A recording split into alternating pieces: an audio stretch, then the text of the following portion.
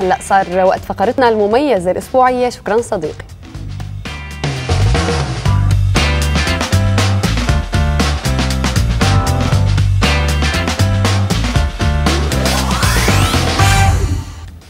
أنشأ ميخائيل فيلد مع زوجته بالعاصمة النمساوية فيينا مركزا لتسهيل اندماج اللاجئين. جاء ميخائيل من سويسرا إلى النمسا منذ خمسة أعوام. والتقى بلاجئين سوريين تعرف من خلالهما على التاريخ السوري والثقافة السورية فقرر أن يقدم الدعم لهما ولغيرهم من اللاجئين. دعونا نتابع.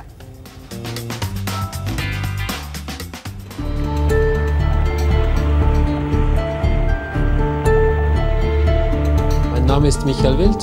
Ich komme اسمي ميخائيل فيلد قدمت من سويسرا. منذ خمس سنوات وأقيم في النمسا.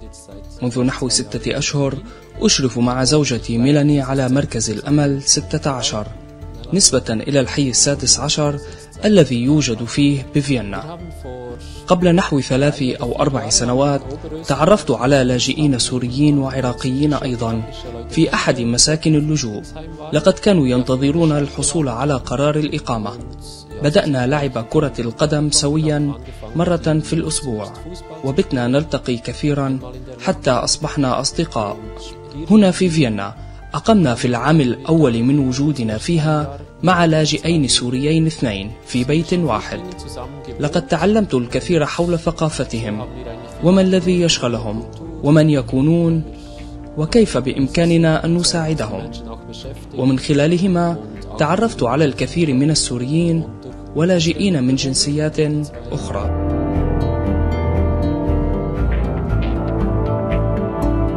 كنا ندعو اللاجئين إلى منزلنا لتعلم اللغة الألمانية مرة في الأسبوع للرجال ومرة للنساء.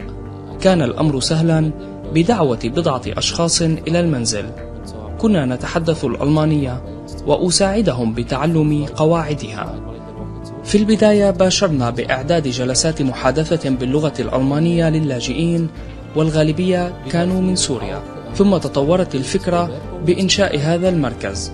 حيث نقدم المساعدة أيضا في كتابة السير الذاتية وطلبات التوظيف. ونقف بجانب من لديه أي مشكلة مع أحد المكاتب الرسمية خلال المعاملات. كما نقوم بترجمة رسائل البريد التي تأتي إليهم ونشرحها لهم. ونذهب أحيانا معهم عندما يكون لديهم موعد رسمي. مركزنا يفتح مساء أربع مرات في الأسبوع من الاثنين إلى الخميس حيث يأتي إلينا الأطفال لنساعدهم في كتابة وظائفهم المدرسية عندما يكون لديهم صعوبات في مواد اللغة الألمانية أو الرياضيات أو الأحياء.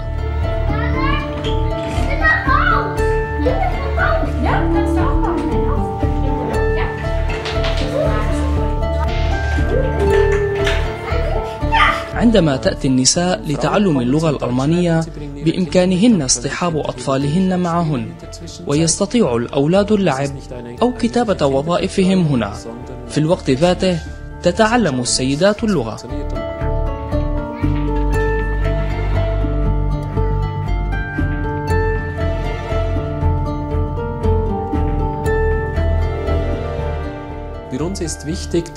بالنسبة إلينا من المهم أن يأتي الجميع ولا يهم من أي بلد يكونون أو أي دين يعتنقون. نهتم بمساعدة أبناء الحي الموجود فيه المركز بالتحديات التي يواجهونها.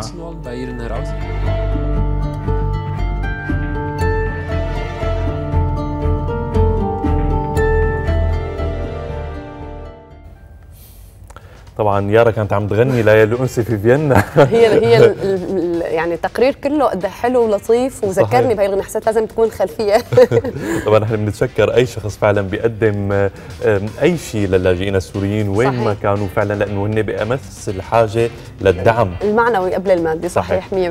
100% هلا بننتقل مشاهدينا لفعاليات السوريين في روزناو